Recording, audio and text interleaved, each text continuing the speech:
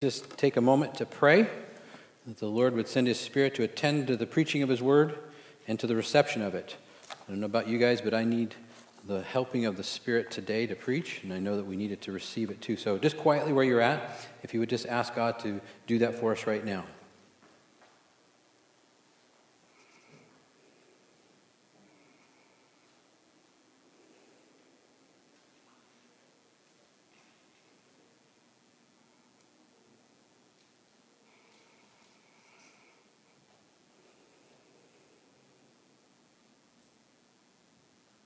Father God, I'm always very thankful for the prayers of your people. Lord, as we come before you this morning, may it be that we are still and know that you are God. May it be that we see the beauty and splendor of Christ and his submission, his humanity, Lord, his condescension at this time, Lord, lowering himself in all regards, knowing that you are fully in control, knowing that he was sovereignly in control of what was happening in this garden, in this arrest, the scriptures would be fulfilled. He had meditated he knew these things to be true. So, Father, help us to also do the same. Thank you for the model that we have in Christ this morning, Lord, and always, that we would follow closely behind him in these chaotic times and every day, Father, in the good, the bad, no matter what. You give, you take away. Blessed be your name, Father. We thank you for the time you give us this morning. I would ask, Father, please, that you would give me clarity of mind and speech, Lord, and that your people would be strengthened, edified, and be looking to Christ for all that they need. So I thank you again for this morning, Father. Please remove our sins. Father, forgive us our sin this morning. Pardon us of these things, Father, that encumber us and stumble us. And let us now focus upon you and upon your word. May it be life to us. May it be sweeter than honey. So, Father, may the meditations of our hearts and the words of our mouth be acceptable in your sight, please. How I ask for your blessing, for your glory, and for our good. I ask it in Jesus' name. Amen. Last, last week we saw Jesus in the Garden of Gethsemane, his disciples, and their strength fell asleep. Remember we said last week? It's good to eat and to sleep. Everybody went and did that last Sunday, right? You went home, you ate, and you slept because you felt good about that, and you turned on the TV and did the things that I instructed you to do, right? And you followed the disciples' model. Everybody's like, yeah, we did that, we did that. But we saw in the garden, we saw Jesus in his humanity. In that garden last week, we saw Jesus coming in humble and human. He stepped into the garden. Remember, I said if he had interrupted that with any form of his deity, it would have been, uh, it would have been an interruption in what he was doing in the garden. He was showing himself to be human, pleading with the Father, pleading in prayer three times while the disciples slept in that. So we see the importance of prayer in that as well. Jesus was one who prayed. We're to pray at all times. Does everybody pray without ceasing? Everybody doing that okay? Pray without ceasing. Have you ever thought about how do I pray without ceasing? We're instructed in, in, in 1 Thessalonians 5, right? To pray without ceasing. You're to pray without ceasing. Are you meditating just on the fact that you can commune with God at any moment? He hears your thoughts. You can be praying all the time. I had this, this illustration one time. I was in Safeway stacking uh, uh, grapefruits, right? This is like mundane work. You're filling this whole thing, and then somebody comes by and pulls the bottom one off, and the whole thing falls apart, right? You're just like, really? And it's a little old lady, so what are you going to do? You know, you're just like, ah! But just the mundaneness of doing that all the time, right? I build a little perimeter and then I would just take a whole case and I'd be throwing them up in the air and they'd be falling into this little thing. And I'm like, oh Lord, oh Lord, I've got nothing better to do than to pray. You know, I'm just thinking about God creation there while I'm stacking these grapefruit on this thing. And I'm just like praying without ceasing. It's just you're thinking about God. You're meditating on God's word, right? That's praying.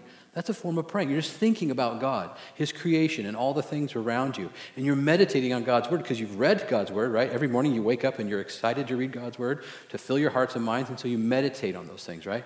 That's what Jesus is doing in the garden. Remember, I, I pointed you guys forward to today's sermon in verse 56, where it says, How are the scriptures going to be fulfilled?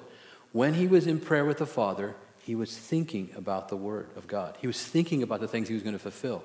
He was praying and thinking and meditating upon God's word. So we saw the importance of prayer, and we also looked at just his model in that, that, during that time of prayer, one of the things we looked at was that you're praying to God the Father. You're recognizing who you're speaking to, right? You're coming to God the Father through the name of the Son, empowered by the Spirit. Think about that again. You're coming to God the Father, you're addressing him as Father. You're using the name of Christ because you're coming to Him in the name of Christ. You're empowered by the Spirit of God to do that. That's beautiful, isn't it? That's a Trinitarian work right there in your, in your ability to approach Almighty God. Remember what we said in the Apostles' Creed? We need to focus on Almighty. He is Almighty God, and you have access to Him because of the, the Trinity's effect in your life. So, again, I told you last week, we need to be very conscious of who we're coming to. He is also allowing us to call Him Daddy. Just as Jesus called Him Daddy, we can call Him Daddy and Father.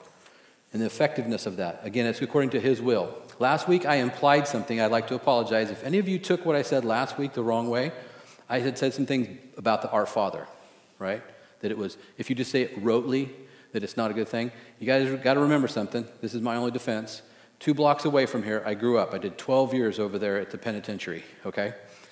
Anybody know what two blocks that way is? St. Bernard's High School, okay? So I learned our Father, our Father who art in heaven, hallowed be thy name, thy kingdom come, thy will be done on earth as is in heaven. And I didn't have the glory and power thing at the end of it, but you know, yours be the kingdom and the power and the glory forever and ever, right? Forgive us our sins as we forgive those who sins against us. I would do it like that. And that's what I was saying. It was like, it shouldn't be that way. I should be meditating on that.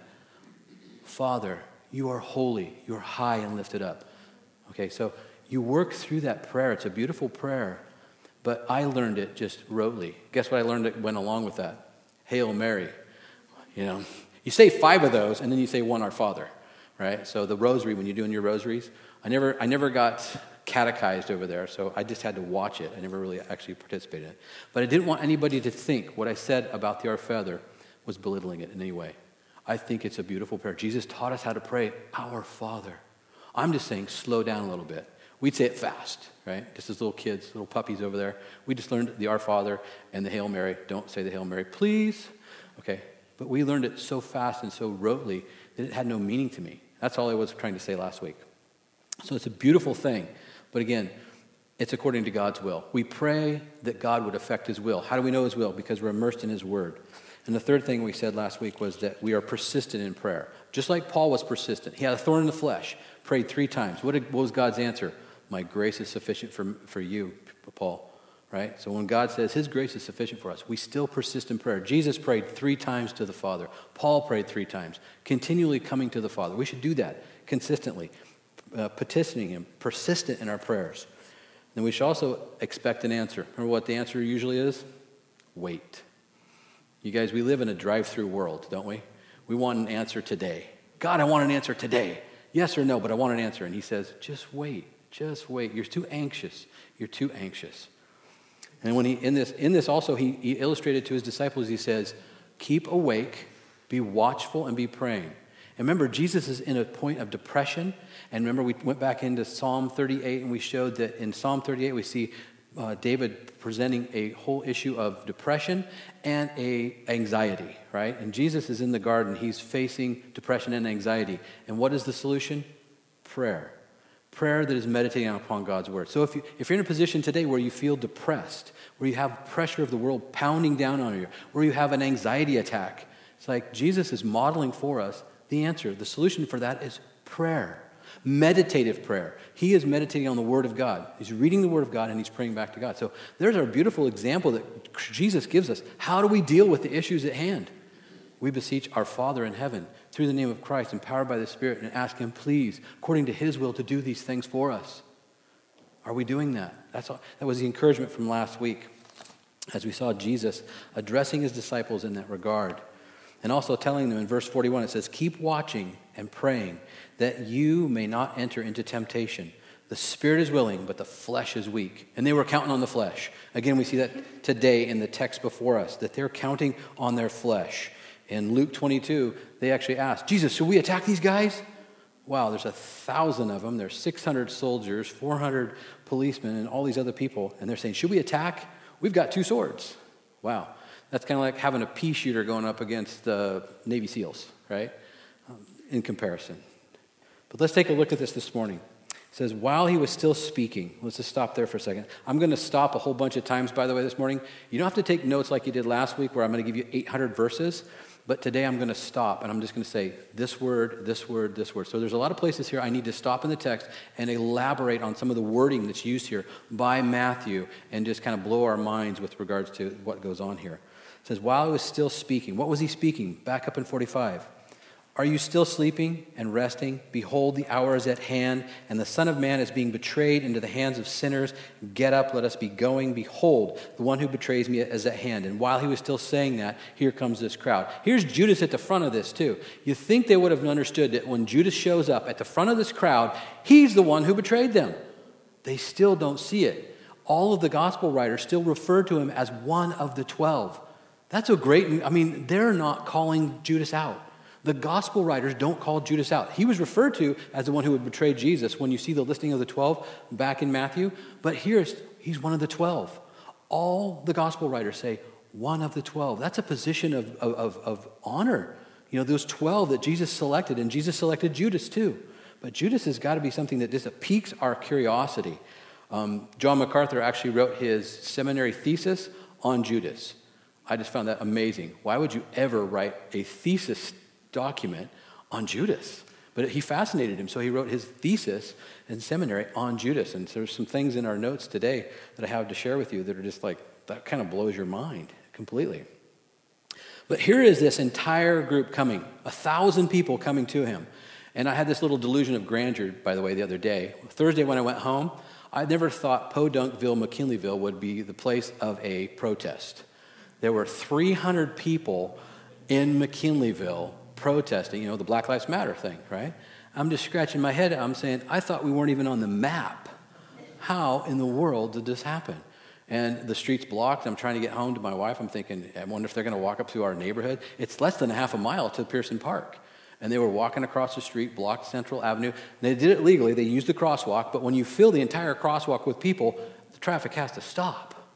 And I'm like, okay, so I had to turn and go around the block. I parked my big, so I'm, you got to, you got just, just real quick here. Here's the picture. I'm wearing a Carhartt shirt and a Fastenal hat, and I'm driving a big white diesel pickup truck. Do you think I fit in? No. But here's my delusion of grandeur. I'm thinking, Black Lives Matter. Black Lives Matter. I'm thinking, life matters. I was talking to my son about how black lives are being killed right now. And 50% of African American pregnancies end in abortion. And I'm thinking, if we really care about black lives, life in general, we would stand over there with them and say, Lives matter. Pro life matters. And so I had this delusion. I thought, they had a little speaker over there, they had little people over there. I thought, I'm going to go over there and I'm going to tell them a story about this very text of Scripture. I was going to go over there and I was going to say, hey, can I just have five minutes just to address the crowd, just really quickly? I'd like to tell you guys, because they're all, because you watch it and they're all sharing their uh, personal experiences, right? They're all sharing, oh, I had this happen, and oh, I had this happen, and we need to educate our children, and it's like this, this show and tell time. I'm like, hey, can I have a turn? I want a turn. Can I have a turn? take the mic, right? So this was, I never did this. Don't worry, I probably would be in jail. I don't know. I was going to take the mic and I say, I'd like to tell you a story about my eldest brother and my father they were having a quiet conversation in their garden, out in a garden. And there was another 11 of their friends there. And all unbeknownst, a, a mob shows up. It's about midnight, and an entire mob shows up the police and the military. There's a thousand of them. And they come into the garden and they arrest my eldest brother. And my father, he, he can't do anything. And the, and the rest of their friends, they just scatter because they're terrified of what's going on. And they take him and they, and they try him and they, they put him up on trial. And there's no one, can, no one can bring a testimony against him, but they accuse him. And they, the verdict is guilty. And they're going to crucify, they're going to, they're going to kill him. They're going to kill my oldest brother. There's nothing I could do about it. I mean, doesn't this just, just enrage you? And call for their rage, call for their anger, call for their, their, their wanting to have justice, right? And peace. Call for it, right? And I said, Do you know who I'm speaking of? I'm speaking of the Son of God who came to earth. He came to this planet to bring peace, which we could never fathom, and justice, which we could never fathom. And he was put upon a cross by the police, by the religious authorities, over 2,000 years ago. We need to rightly think about what matters, what really matters. And at that point, I'm sure the microphone would have been ripped out of my hand, and they would have been ejected from the park with my Carhartt shirt and my big white truck. But I just thought, this is an opportunity. This, is, this was an opportunity. So pray for me because I might do it the next time I get the opportunity. If they show up at Pierson Park again, all 300 of them, I might just go over there and say, Can I have a, can I just have, I just want to share, share time and share something with you. Here in the garden, Jesus is in complete control, absolute complete control. It's one of the other things we need to see, but he's interrupted. But wouldn't that have been great if I could have done that? Yeah, you're all thinking that because I get to do it. You don't have to do it. Maybe one of you guys should. But while he was still speaking, while he was still speaking, that here came this mob, here came this riot of a thousand people, he's interrupted. Judas, one of the twelve. I, I, just, I just have to stop there again. Judas, one of the twelve. One of the twelve. One of those who had an honored position. Some of the apocryphal writings have some very colorful things to say, and this is in comparison. In the first century, some of the books out there uh, in the Apocrypha and other apocryphal writings, some of the books of the time, refer to Pilate. One of the things they said about Pilate was is that his parents knew that he was diabolical at a young age. So they actually threw him in the ocean or threw him into the Mediterranean. He survived somehow. He came out and he actually later on in life married an older woman, found out that it was his mother. I mean, this is why the Apocrypha, one of the reasons why the Apocrypha is not included, right? These are the kind of the things. Another account, another account, and I think it's the Pilate uh, episode, the Chronicles of Pilate or something like that. I can't remember exactly what it's called. says that Judas felt remorse after he betrayed Jesus. He went home, and his wife was cooking a chicken on the fire.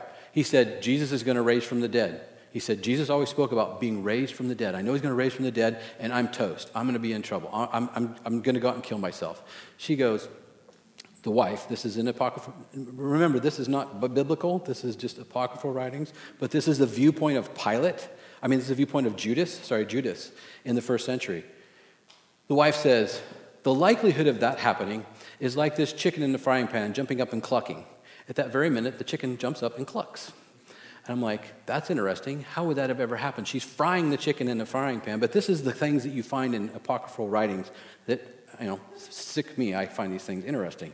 Um, anyway, but the viewpoint, that's the viewpoint of the first century, right? These, these are apocryphal writings, we're not including scripture, but look at the contrast. One of the twelve. The gospel writers don't say anything like that about him. You don't find that in scripture. You find Judas still, he's going to commit suicide, he's going to kill himself. But here, Matthew is saying one of the twelve. You also notice in this that when Peter pulls out the sword, he doesn't go after Judas. Judas is still being protected biblically, spiritually. He's being protected in this account. That's just amazing. He's the one betraying Jesus, and yet he's still being protected. I'm just, I'm just fascinated by that. One of the 12 came up accompanied by a large crowd with swords and clubs. So we know that there was a cohort that was gathered. And if you look back at the time frame, I, guys, I told you about how you tell time in, in the calendar back then. From 6 to 9 is evening. From 9 to 12 is midnight. From midnight to 3 is the cock crows. And from 3 in the morning till 6 is morning. And so we're about, at this point of the garden, we're at about midnight, just after midnight. Judas left around 9. Don't tell me, I won't want to tell you how I figured that all out. I didn't. I read it with other theologians.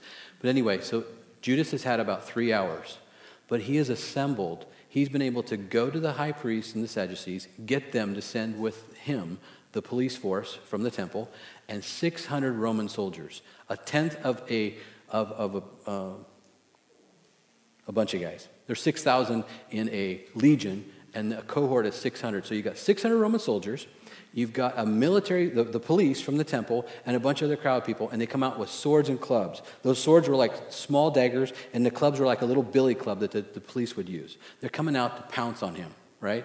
If he resists, they're going to thump him. And they got their torches and lanterns in case anybody needs to chase him down. But it's also full moon. This is in the middle of the month. Did you notice there's nothing, there's no account out here that the disciples needed lanterns or torches to get to the garden. It's as bright as the night with a full moon and they've come out with torches and lanterns and a thousand of them to come up on this. And Judas is leading them out to capture him, who came from the chief priests and the elders of the people. And now he who was betraying him gave, him a, gave them a sign saying, Whomever I kiss, he is the one, seize him. You guys know what the word for kiss here is? A bridegroom who kisses his bride. I don't think this is sloppy, but the term that is used here is one who gives an affectionate kiss to another. That's the kiss, that, that's the word that Matthew uses here. Judas comes up to him. And now, if Judas was a, a servant to Jesus, if he was putting himself under him, he would have kissed either the back of his hand or the front of his hand if he had gained favor. If he owed him anything, he would have kissed his feet. Remember the woman who kissed Jesus' feet because she realized the forgiveness of her sins? She was honoring him. Judas comes in. This is how despicable Judas is. He comes in and gives him a kiss like you would a bridegroom to his bride. Kisses him repeatedly on both sides. And if Jesus is his teacher, because he says this, whomever I kiss, he is the one, seize him. Immediately Judas went to Jesus and said, Hail, Rabbi, Master, Teacher. He's recognizing Jesus as his teacher. He's recognizing that he is subservient to, to, Jesus, that he puts himself under him, but he's coming in in a despicable way using this sign. And the only way that this would have been acceptable is if Jesus had first given him permission by giving him a kiss first. So Judas actually comes in and offsets the tradition, the, the, the understanding of the culture would be that only way he could give him that intimate kiss was if Jesus first kissed him. But do you notice the disciples don't even have a clue about what's going on? They don't think Judas is the betrayer. And Jesus even just said, Behold, notice this, the one who betrays me is at hand. But they don't even recognize him. He's at hand, he's right there in front of them. And he gives them this passionate kiss. So they're thinking, It can't be Judas. It can't be Judas. That's how sly Judas is. Remember, Satan had entered into him in the, in the accounting of the gospel. Satan has already entered into Judas, and Judas is effectively working from his heart out. He's working on the, the, the, the deception and the despicableness of his heart in doing this. But what a despicable thing that he's shadowing himself. He's covering this all with this by kissing Jesus like a bridegroom would kiss another. And nobody's calling him out on it. The gospel writers are still saying one of the twelve. I just find this amazing. Why are they protecting him? Why are they protecting him? Why didn't Jesus say, There he is, there's Judas, there's the one who's betraying me, get him? They had two swords. In Luke 22, we know they had two swords. And of course, we know that also from John's account in John in the Gospel of John that Peter's the one.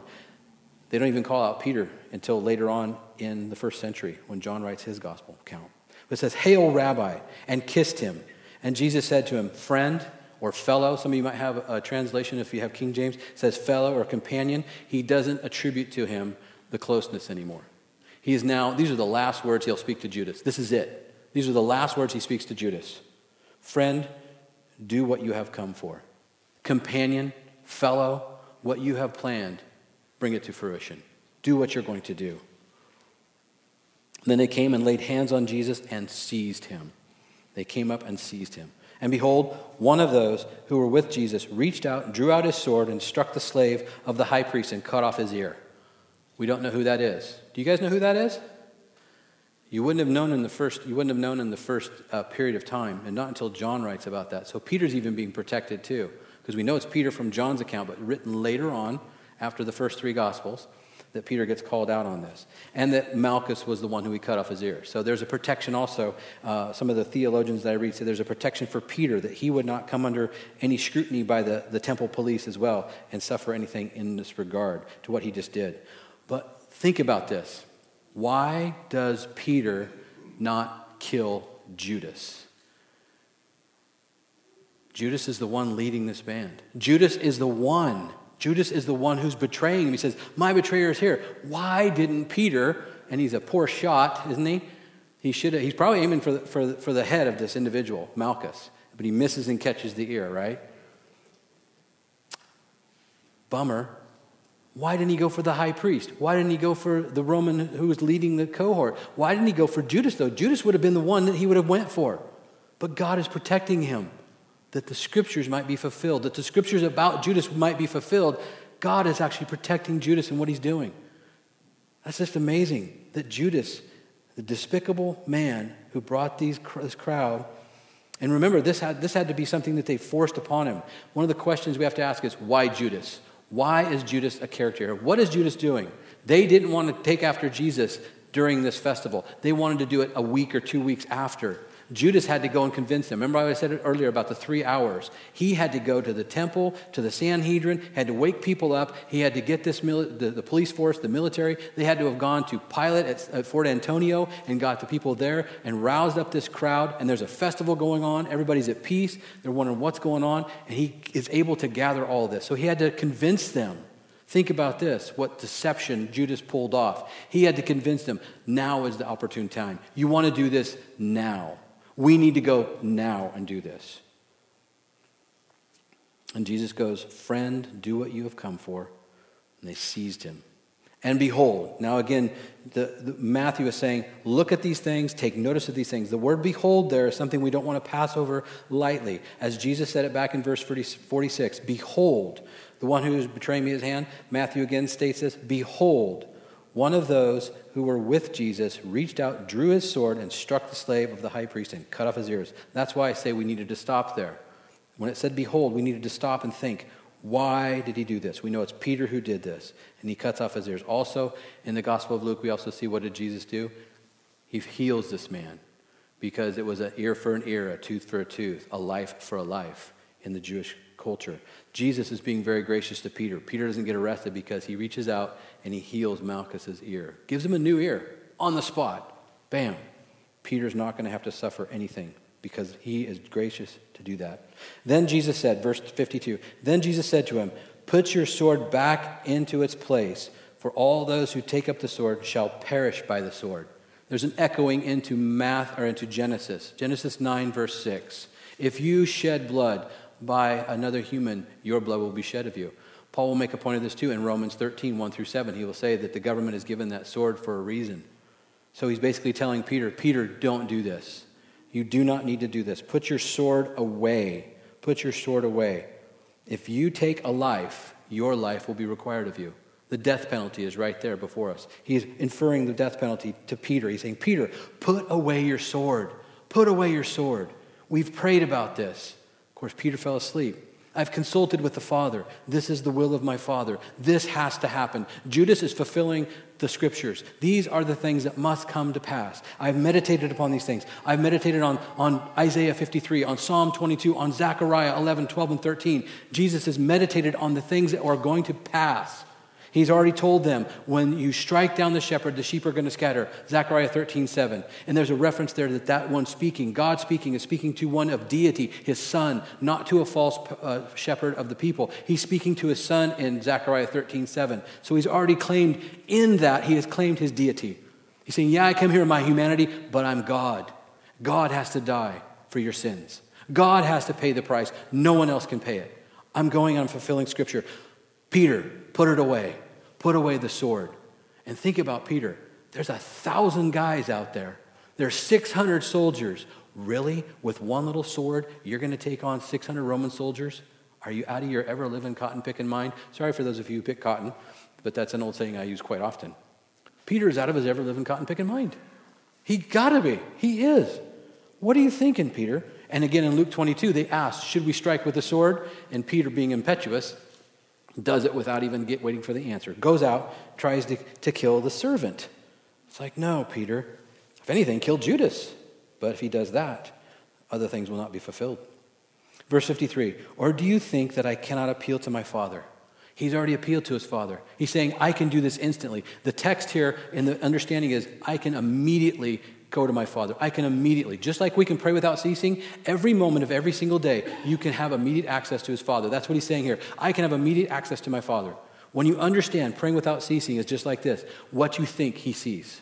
The thoughts you think, God sees them. The things you speak, He already saw them before you spoke them. He knows what you're doing every single day. He's with you every single day. You can have an intimate relationship with Him at all times. Why wouldn't you access that? And here Jesus is saying, Peter, I can access my Father right now. Immediately he will answer me. I can access him. Or do you not think I cannot appeal to my Father and he will at once put at my disposal how many? More than 12 legions of angels. A legion is 6,000. Do the math. That's 72,000 angels. You guys remember last week what I told you about one angel? In 2 Kings 19, Hezekiah, and he was, he was under the Sennacherib, was coming in with the Assyrian army, and he prays, and God sends one angel. And how many soldiers did that one angel destroy? 185,000 Assyrian soldiers. And Jesus just said, I can have 12 legions of angels like that. Peter, put away your sword. Christianity doesn't move forward with swords. Christianity does not have uh, earthly concepts and schemes. In 2 Corinthians 10:4, Peter tells us very, very clearly, our warfare is not of the flesh, it's of the spirit. We proclaim the gospel. We take the microphone and tell people about Christ. We don't take swords, we don't take clubs, we don't do what the Crusaders did. Boy, after I went through seminary and learned what they did, I have a hard time with my alumni now. We don't do that. Those all failed. Those all were a, a travesty of the church being looked at in, in those times when they were pushing Christianity, when the Crusades happened. It never honored Christ, it never worked. And here Jesus is telling Peter and his disciples that will never work. I can call down a legion, 12 legions of angels. How then will the scriptures be fulfilled? There it is. How will they be fulfilled, Peter, if you do this? If you try and start a war with these soldiers in this priesthood, how are the scriptures going to be fulfilled? There is something bigger at stake here, Peter, something much bigger. How will the scriptures be fulfilled, which say that it must happen this way? It's got to happen this way. The Son of God, the Son of Man, must die for the sins of the world. It has to be this way. There is no other way. Only through his perfect sacrifice are we redeemed. Our forgiveness. When we ask for forgiveness, we should really be thinking Christ died on the cross for those sins. Given to us, if we confess our sins, he is faithful to forgive our sins and to cleanse us from all unrighteousness? At what cost? The cost of his son's blood on a cross. It must happen this way. At that time, Jesus said to the crowds, Have you come out with swords and clubs to arrest me as you would against a robber? Every day I used to sit in the temple teaching you, and you did not seize me. Every day he sat in the temple teaching and they recognized that he was teaching one who had authority in the temple. He is there. They've come out because they're cowards. They are cowards. They could have arrested him in the temple, but they know what they're doing is wrong. They absolutely know what they're doing is wrong. So they come out under the cover of darkness. Evil is at work. Evil, evil, evil. Evil that Satan has indwelled Judas, and now this is the working of evil, that the playing out of evil. When we see the things around us in our culture today and in the world, these riots, John MacArthur makes a very good play, point. It's the evil of men's hearts coming to fruition. This is sin playing itself out all over the globe right now. We shouldn't be surprised about it. We should not be surprised about it because it happened 2,000 years ago, right here in the garden with our Lord and Savior. This is not a surprise to God what's going on right now. I do carry a sword, though just so you know. And I recommend that you do have a sword, but hopefully I'll never have to use it. That's another point. Every day I used to sit in the temple teaching, and you did not seize me. But all this has taken place to fulfill the scriptures of the prophets. Everything that the prophets spoke are being fulfilled right before your eyes. Everything that you trusted and everything that you read in Sunday school and heard preached in the synagogues, everything that the temple looked for, everything in the Passover meal that he had just pro- proclaimed to them was appointing to him. Everything is being fulfilled in Christ. There he is on this scene saying, This is to fulfill what the prophets have spoken about Jesus, that first must come the suffering and then the glory. 1 Peter 1:10 he says about that he says the prophets and it was the spirit of Christ within the prophets proclaiming that first there was suffering and then there was glory First, the suffering of the cross, then a glory, resurrected ascension, and now he's coming back again. We sit here waiting for his return, zealously waiting for his return. So you all go up to Pierson Park, you take the microphone, and you tell everybody about Jesus, okay? You're all just like, no, it's. Or you just have a small conversation on the side. Hey, I'm pro life too. Are you pro life? I'm pro life. Black lives matter? Absolutely. Every life matters to the degree that God sent his own son. How do we value life? Because God says you're created in his image. In Genesis 9 7, the reason why life is required for life is because you've been created in the image of God. Anybody you talk to bears the image of God. Anybody out there in the riots bears the image of God. You say, Do you know that when you look in the mirror, you bear the image of God? And He has something for you. He has a son who died for you to redeem you, to give you the peace that you're seeking, to give you the justice that you're looking for.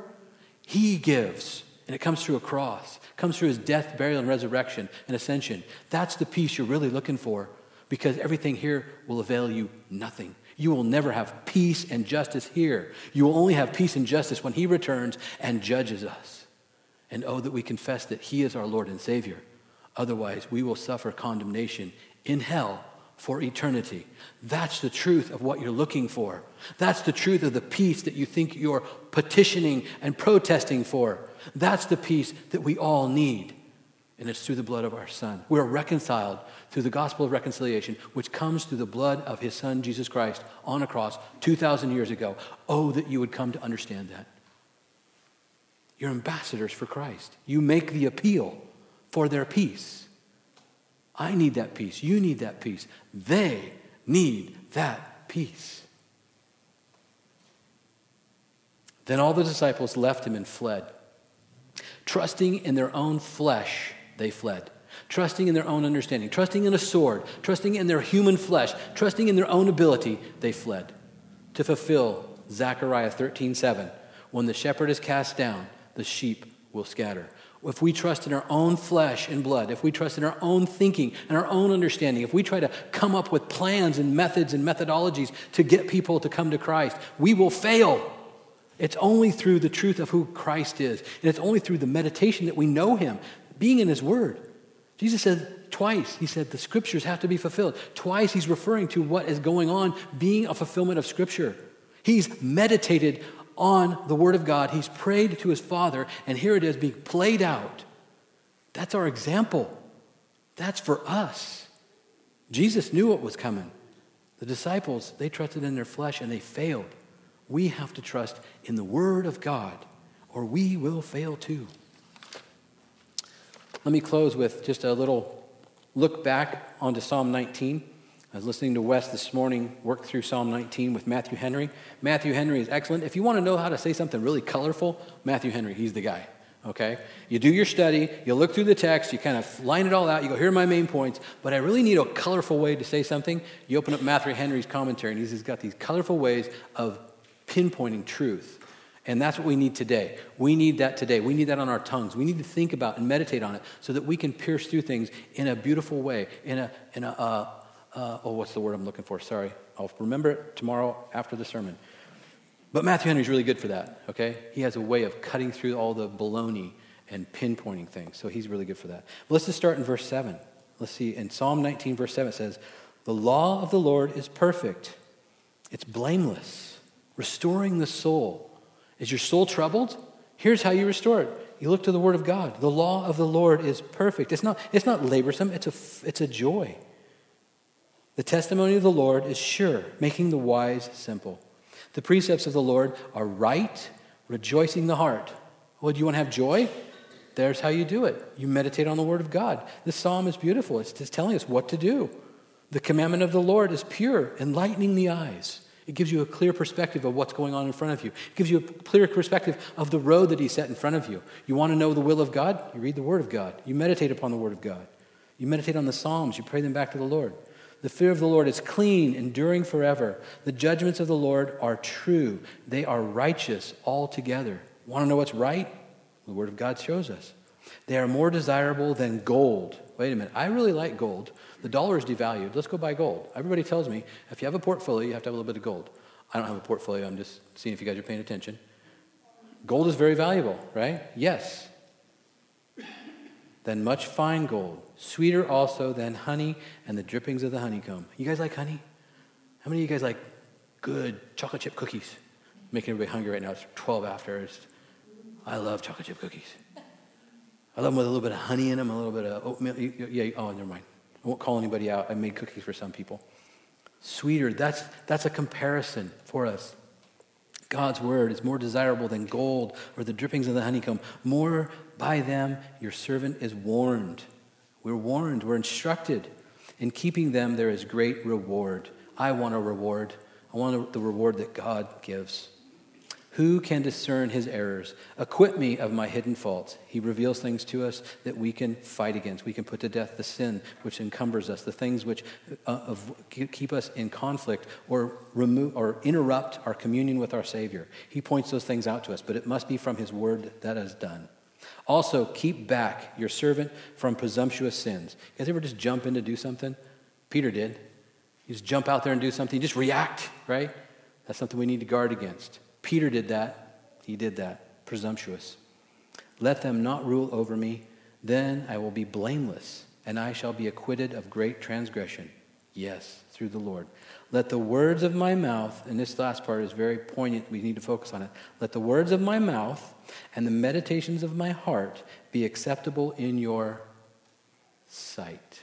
He sees it before you say it, He sees it before it's even on your heart. That can either terrify you or comfort you. I hope it comforts you greatly right now. He knows everything about you, and He loves you enough to give you His Son on the cross for you. He knows everything about us. May they be acceptable in your sight, O Lord, my rock and my redeemer. There's the point. You've been redeemed. You've been called by name. You belong to who? You belong to God if your faith is in Christ. If your faith is in what Christ has done, you belong to God. Do you want Him to tell you what to do now? Absolutely. I belong to you, Lord. What do you want me to do? I'm all, I'm all ears. I'm going to read your word. I'm going to pray. I'm going to go outside and I'm going to go down to Pierson Park and have a word. I don't know if I'll, I don't, I don't think I have the courage to do that. Sorry. I just look too white and too fat and it's not going to work. So seriously, come on, look at me. You think I was going to have a, you think they're going to give me the microphone? No. Anyway. O Lord, my rock and my redeemer, bought and paid for with the blood of Christ. Let us pray. Father, we thank you that you have transferred us out of the domain of darkness. Father, we do not reside here in this darkness, in this world of darkness that rejects you, that argues against you. We don't reside there. We reside in your kingdom, the kingdom of your beloved Son, in whom we have redemption, the forgiveness of our sins. Father, we thank you that we have forgiveness of our sins through the work of your Son, that these things had to be this way, that the scriptures must be fulfilled, and Christ willingly laid down his life to do that. It wasn't, wasn't taken from him. He could have called down 12 legions of angels, or he could, have, he could have easily had victory. But he laid down his life voluntarily to fulfill your will. Lord, may we follow that. Father, may we follow in an understanding of what Christ did in the Garden of Gethsemane at his arrest, his trial, this whole Passion Week, everything leading up to the cross and after the cross was to fulfill your will and the Scriptures. So, Father, may we be those who meditate upon your word, who come before you in prayer each and every day, seeking your counsel for the lives you've given us to lead, that we would honor you and worship you and glorify you. So, please lead us in that. Lead us, Father. Convict us and show us the greatness of Christ. So I thank you for your people, Father. I thank you for their patience, and I ask that you give them courage and boldness to go into this world as ambassadors for Christ, making the appeal for the gospel. Bless us all, please, in this regard. We ask it in Jesus' name. Amen.